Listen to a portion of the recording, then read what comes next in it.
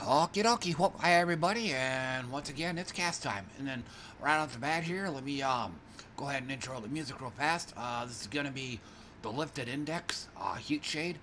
Um, I think I played this during one of my recent streams.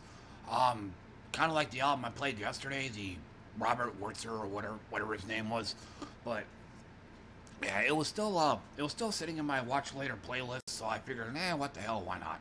Just go ahead and uh, fire this one up. So me do just that.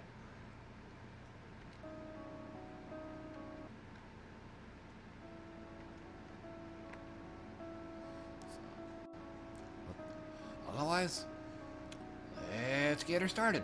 Um, but yeah, for um, this evening stream, it, it went okay. Um, but uh, I laid down around. Hold on, did it do it again? Why, yes, yes, it did it again.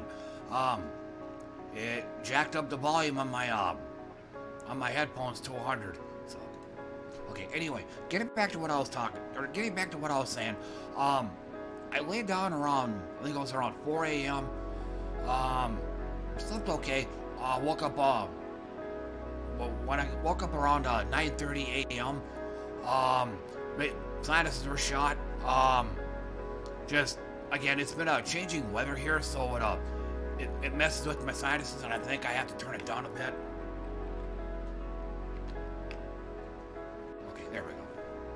So then right after that, that was when I I was basically on zero sleep. So, because I mean, for the times that I actually could, that I actually could get some sleep, it was all dream and nightmare filled. So, is either either I woke up or or just um woke up because of um me having a dream or nightmare about something really fucked up. Um, something that I can't remember right out right something that I can't remember at the moment until later on in life when when a certain moment becomes deja vu and hey I had a dream or nightmare about this some time ago you know so so needless so needless to say I was actually kind of hoping I can do an early stream like I've been doing recently like starting up around noon or 1 p.m. or something but nope didn't happen that way so after 9:30 in my struggle to try to get try to get back to sleep, um, alarm went off around 1:30 p.m. So I basically ended up streaming at my normal time, 2:30 p.m. So because of that, I wasn't gonna try to do I wasn't gonna try to do the whole idle game medley that I've been doing. Um, just uh, I gotta check YouTube real quick. Okay, okay. It was just going to going to a new track. I thought YouTube froze up on me. But anyway, um, so what I ended up doing is just uh, fired up Idling to Rule the Gods. I think I played it not for very long though, not until full completion. Like usually when I play that, I go from uh, I play until I manage to progress long enough in the game to do a successful, for lack of a better word, uh, rebirth, where you know you start the game over, but you um you start with improved stats that you built up on your previous run. So, but like like I said, um, normally that's what I do, but this time around I just got like part way in, and I just thought about this too. I completely forgot to to check back and finish up, finish the job, but but anyway, I I abandoned that game partway and just hopped right on over to Idle Champs where I just, um, I think I mostly just did farming runs on it. I didn't, I didn't work on any quest progression or anything like that.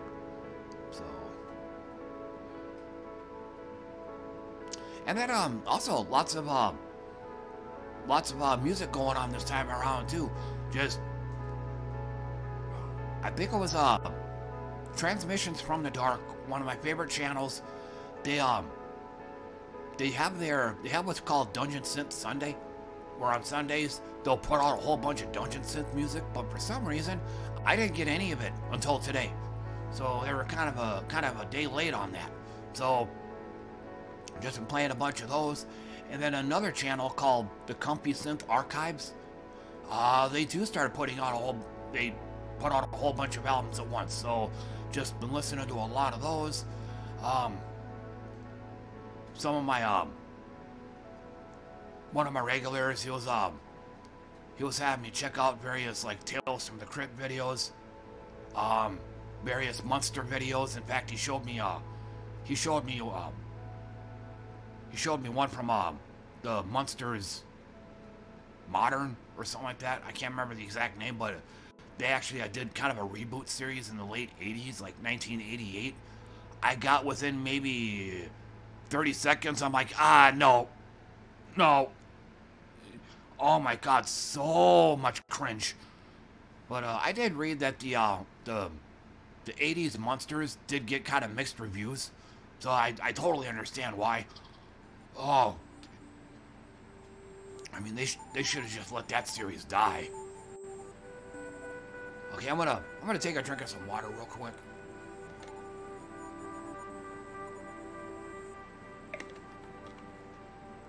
But um, I uh, I didn't really do a whole lot of podcasts this time. Um, I did the um, I did an Uncle Joey podcast. Joey Diaz, famous comedian.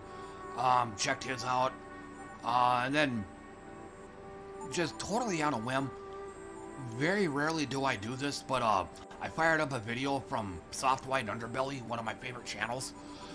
Normally I'm pretty skittish on it, but I thought maybe since this particular episode was a was a porn shop clerk, like you know he works in a porn store, you know, trying to guys trying to get him to like tell some stories about it and all that, and just you know ask, hey, what's it like working at a porn store, that kind of stuff. I thought it'd be um, for lack of a better word, fun. About to be a thought it'd be a fun episode to have on. So but it it is something that I'd like to play more often on these streams. Some soft white underbelly videos, but the problem is is for anybody that's ever checked out this channel, yeah, uh, a lot of stuff on here. Most certainly NSFW. You know, fentanyl addicts, crack addicts. You know, like child sexual abuse survivors, that kind of thing. Not something I'd, I'd really want to play during a stream. So...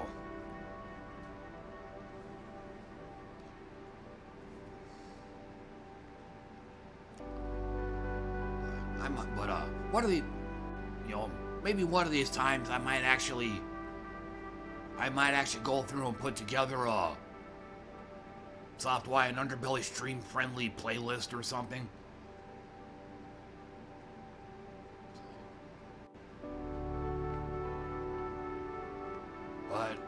Otherwise, that's that on that.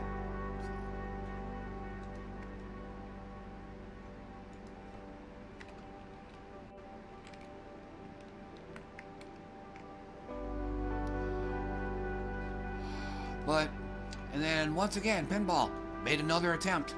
Try to get some FX3 going, but um, it crashes. It crashes in the main menu now. So, um, so much for that. I fired up Pinball Arcade, thinking maybe I'll get lucky. Nope. I think it, um, I can't remember which table it was, but the very moment the table, the table booted up, it, Pinball Arcade crashed. So, that left me with no other option than to play some Zaccaria Pinball because it's been, I think I said this yesterday, but it's been over a week now since I've played any pinball at all, so I kind of need my fix, so had no had no choice and had to had to go with second best Zaccaria pinball. I did um I think I did like a quickie 15 20 minute session and just uploaded that to YouTube. So the way it's looking right now, it looks like I'll be dropping down a league. And if this keeps up, possibly all the way down to rock bottom league because I just like I said, this I can't get the damn game to work.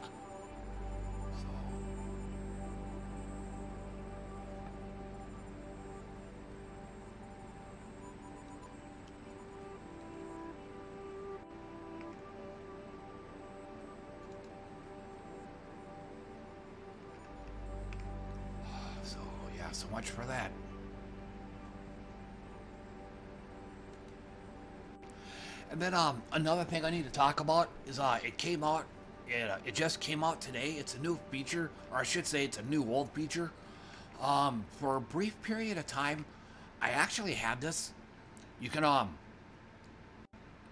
they, it's kind of a mini Twitter. Like, um, used to be able to post up a community, I used to be able to do community posts, but, uh, for, for some reason I don't understand, they decided to go ahead and, uh, or they, uh, restricted it to only channels that had at least 500 subscribers. And, uh, I only got 83, so, so I kind of got left out in the cold on this. Well, today, they, I guess they decided to make it an option for everybody now.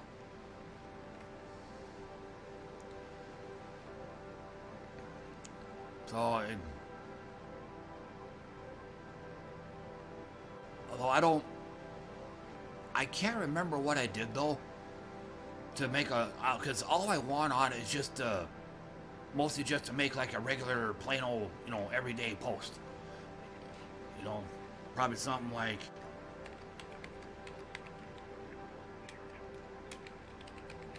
YouTube copyright claimed my video even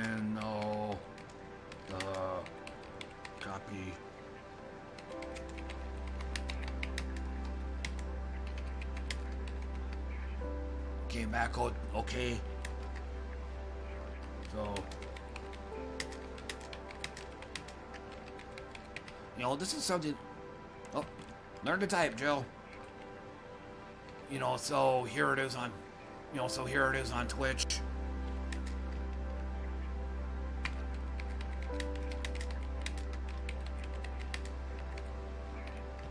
You know, so, you know, so something like, you know, something like this. This is, um, you know, so this is something that I really, okay, yeah, that's not quite right. Let me, let me fix this window real quick. I try to cut it down a little bit.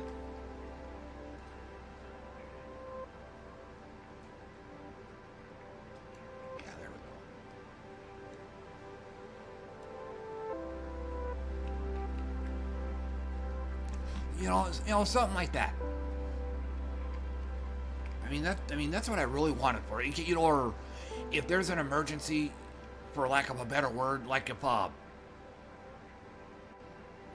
if something like that were to happen, you know, like I just typed down, like, you know, post up a cast video, but uh, if it gets copyright claimed, then here, I'll just go ahead and upload it to Twitch instead, which is much, much less likely to, you know, which is uh, much less likely to get muted than it would be to get copyright claimed on YouTube. You know, something like that's kind of an alternative, you know, let everybody know, hey, you know, like, you know, my cast videos on Twitch now, you know, that kind of thing. You know, it's kind of like a, you know, again, for emergency reasons. So, you know, or, oh, hey, um, hey, OBS keeps, or, I tried making this video, but, uh, but, uh, my computer cra my computer decided to crash right out of nowhere, so I'll have to abandon the project, you know, you know, just a way to let people know.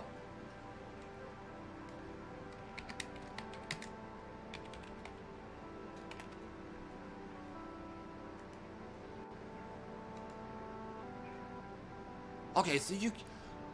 Okay, so you can just make, um... Just regular posts. Now, I'm assuming that all of my subscribers are gonna get this. And luckily, you can delete, you can also edit and delete your posts. So that's pretty valuable. And then on, on top of that, I think, up. Let me...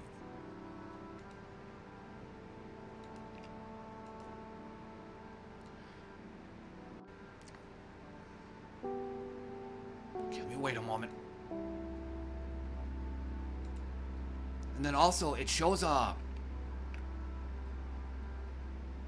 Shit. Yeah, I'd have to embiggen it. But yeah, on my, um, on my channel list, Okay, I don't want to... I don't want to fiddle with the windows, but yeah, it does...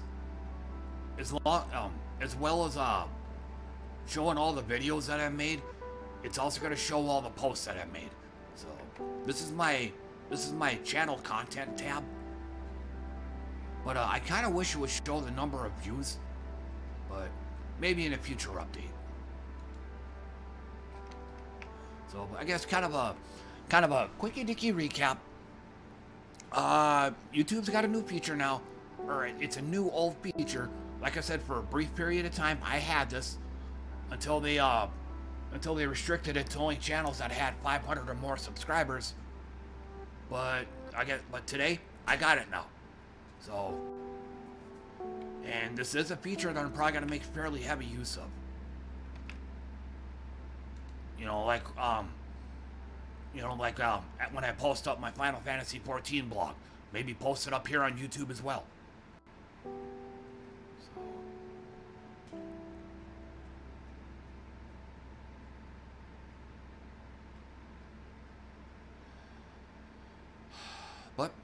Otherwise, just Felt the need to get that out there. This kind of turning into a short cast. I was expecting this to be long. Or I was expecting this to go a lot longer, but... But, um... But, no, I just, just now thought of it. And, um, I kind of thought of this earlier. Or I should say, in anticipation of this, of it, this being a pretty short cast, because when I was putting it together, I didn't really didn't really do much. So I thought what I'd go ahead and do is uh, fire up uh, fire up Twitter, um, look at a current event, because something interesting. Um, I actually probably kind of piqued my interest a little bit. Um, mashed potato throwing at a $96 million Monet painting. It's like, okay. So I... Now, now, would I would I chuck a would I chuck mashed potatoes at a at a at a painting that a painting of this price? No, not if it costs 96 million. In fact, I don't even. Yeah, I don't even say. Um.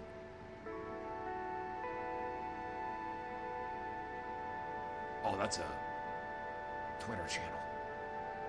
Yeah, if it if a painting if a painting's got to be worth 96 mil, I ain't fucking with it.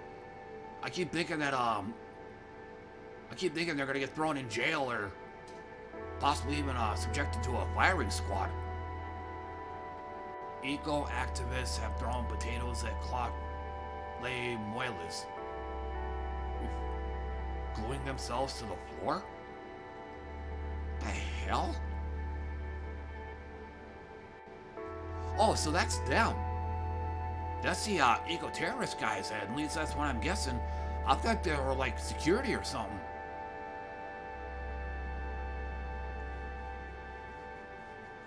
I don't know what the deal is.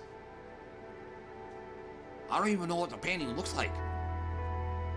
Oh, and for those that don't know, um, I'm not the kind of person that really follows current events. Like I said, I'm mainly doing this just to add a little something to this video. Otherwise, this video would have been over in like 10, 15 minutes. So, okay, breaking news.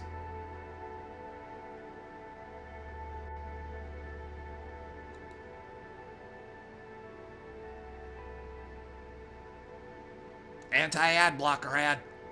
Nope. Fuck you, Metro. I'll just, here, let me just, let me just go on Google and let's type down mashed potatoes. Mashed potatoes Monet. So let's go find a website that doesn't have anti-ad blocker ads. Um, okay, so they did get arrested then. Here, so let's let's fire up NBC News. Yeah, German protesters arrested after Hang on, I gotta fix the window.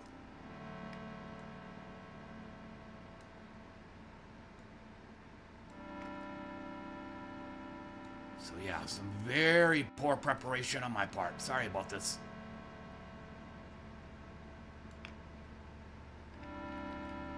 So yeah, um, they did get arrested, but I mean, when you got when you deface a painting that's worth 110 million, I think uh, them getting their getting arrested is probably going to be the least of their worries.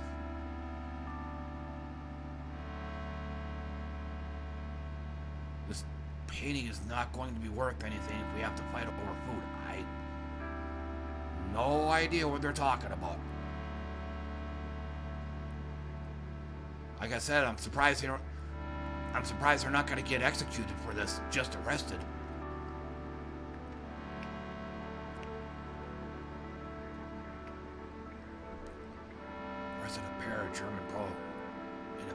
Attention to the perils of climate. And another question I kind of have: Why mashed potatoes? I don't get it.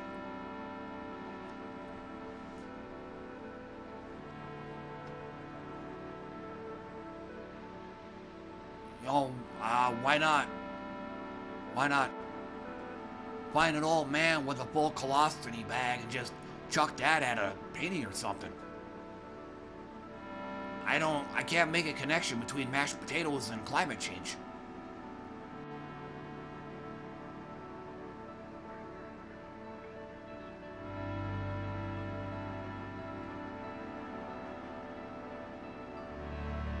I mean, but again, I don't even know what the uh, painting looks like. I can...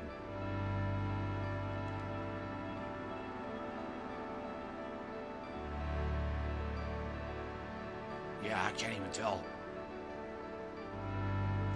Claude Monet uh, investigating the protesters whom police did not name, property damage and trespass. Barberini. And immediate conservation investigation, Great stacks.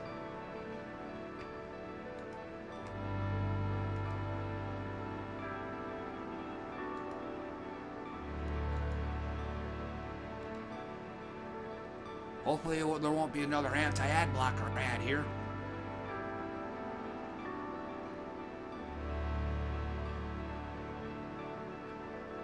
Okay. Hoping you guys can see it. Yeah.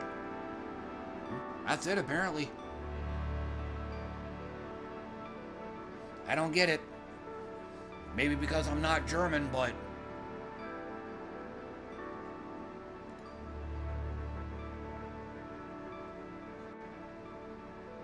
I mean, you know, or another thing too, I think if you really, if you really, really want to make a statement, light the painting on fire.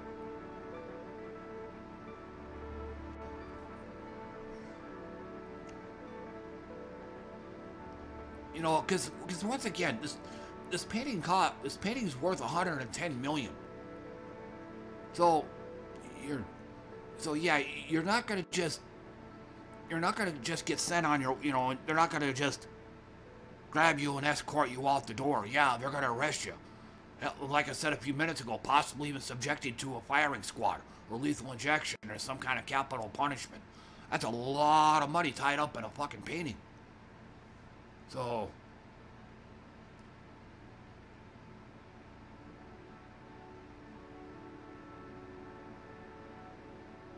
Grain stacks, which Monet paid in 1890 was sold for 110 million. Huh? I must have like no powers of observation whatsoever. At least from um at least from what I'm seeing here in this image. Apparently there's like a there's a panel of glass over this. Let me go back to let me go back to Twitter. You might be able to see it better. But yeah, I'm Apparently there's a panel of glass over the painting to protect it. I can't even see it.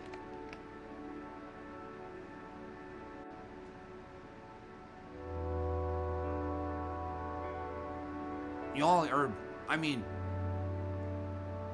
assuming they actually knew knew about this beforehand, you know, show up to this museum with a friggin' ball peen hammer, shatter the shatter the glass, then bring like a one of them uh, one of them barbecue one of them barbecue lighters, you know, the, the push button one, you know, and just start the thing on fire. Cause I'm I'm also assuming that the uh, the punishment they're gonna get is gonna be the same no matter what they do to the painting.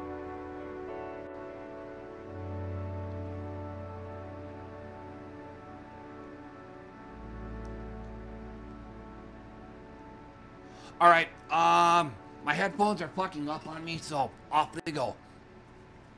So, because I gotta be able to concentrate without having to yank, yank, yank, yank, yank, yank, yank, yank the, yank the damn headphone wire.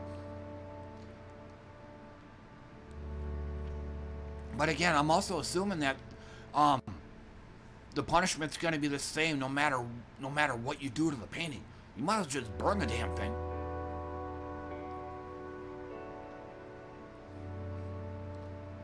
And then again, why...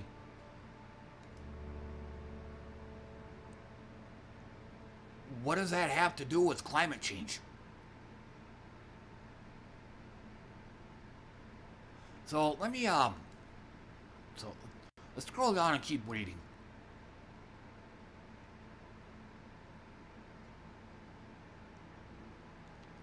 On about why the protesters are being investigated for, given that the painting painting was unharmed.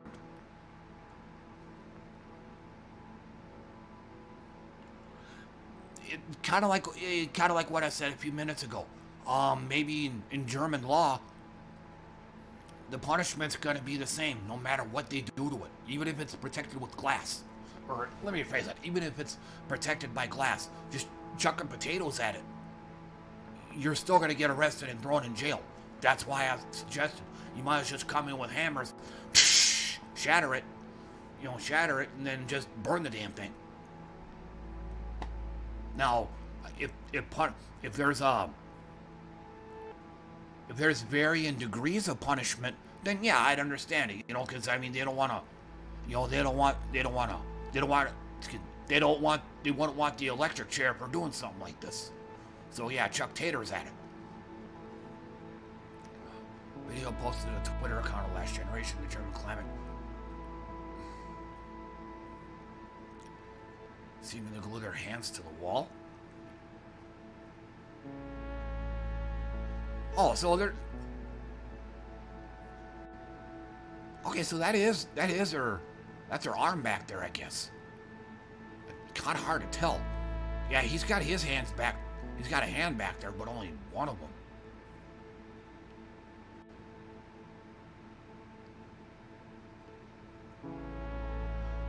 Shows two, yeah, hands glued to the wall. Stunt was uh, similar to one this month at London's National Gallery, where two protesters just stopped oil. I'm really hoping you guys can see this okay, but like I said, this is kind of poorly planned. I guess I'm getting getting uh starting to get tired of having to constantly uh, shrink and large, shrink and large, shrink and enlarge the window to get all the text.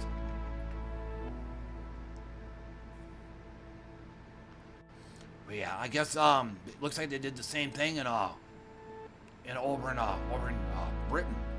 Just stop oil, and they chucked tomato soup at the uh, Vincent Van Gogh's uh, sunflowers.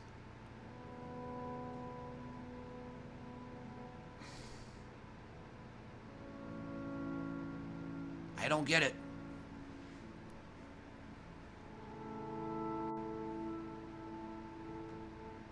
Because now they're throwing tomato soup. It,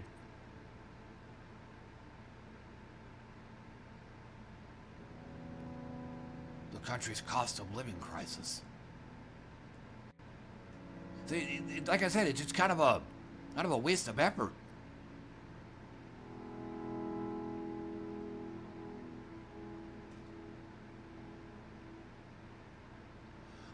Climate catastrophe and all all you are afraid of is tomatoes.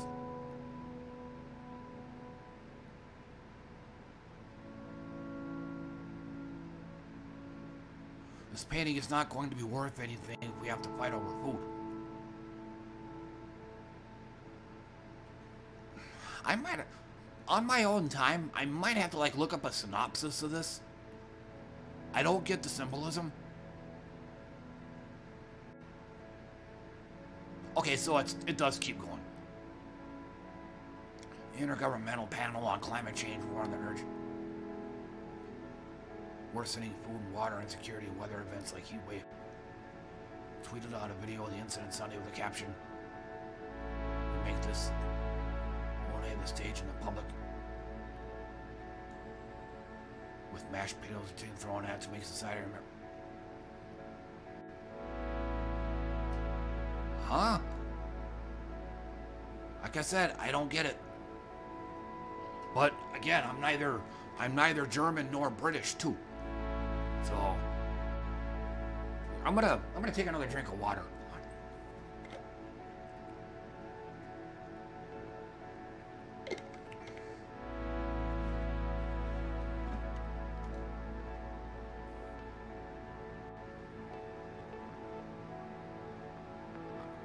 Maybe we maybe maybe we should introduce him to the Adam something channel. Or, you know, do not eat, not just bikes. Um I think I think Strong Towns has a channel. You know, there's there's much better ways of protesting than to just you know than to just chuck uh chuck food at a damn painting. But once again, I'm not German. I'm not British. They have different points of view. Um, they do things differently in those places. But like I said, if I was uh, if I was a climate change activist, and if for some reason I, if for some reason I just had to make the statement at an art museum, I'd have gone to, I'd have probably gone to the most, whatever painting there most resembled like anything industry related, like a factory or something. Something that, you know, maybe, um, maybe if they had any pig paintings, which could be a good uh, metaphor for, uh, for the uh, greedy billionaires and stuff. Um, again, some, you know, look for some kind of, in, some industrial looking painting, like, you know, like a factory or whatever especially one that uh, has smokestacks and, and polluting. You get the idea. I'd have gone to one of those paintings, and for, and secondly, I'd have scouted the area first. You know, look for a, you know, and discover that all these paintings are encased, you know, encased in glass. You know, and then prepare accordingly. You know, again, show up with like a show up with a hammer. You know, a hammer, um, maybe some some lighter fluid, lighter fluid and one of those um those push button barbecue barbecue lighters. You know, and then just go to work. You know, actually burn down the painting. And not just chuck green beans at it or something or or throw stovetop stuffing at it or you know, stuff like that. Or throw throw applesauce at the Mona Lisa, you know, something like that.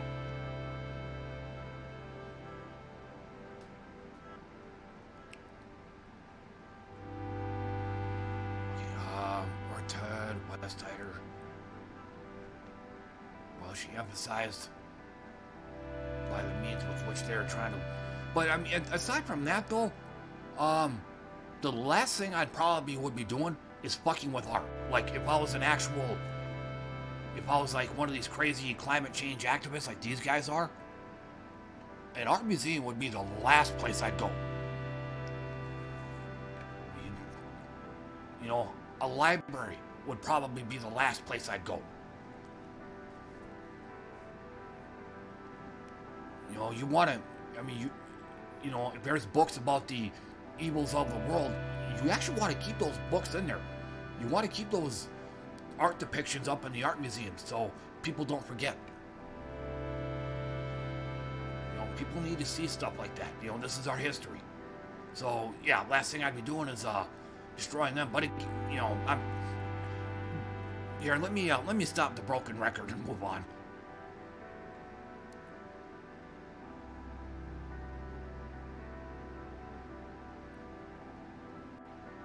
It is in the works of the Impressionists that we see the intense artistic engagement 19 and that Monet's works are part of. So I think he's starting to say the same thing too. Why?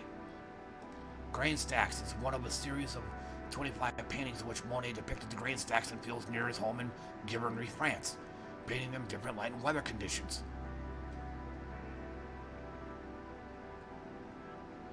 Yeah, and once again, I don't get it.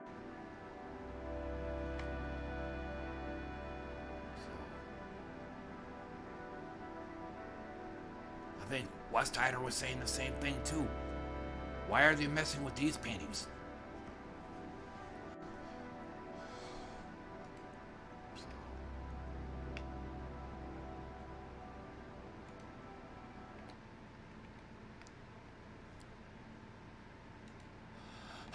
But otherwise, um, that's gonna do it for me, everybody. Um, I think I've said all the things that I wanted to say.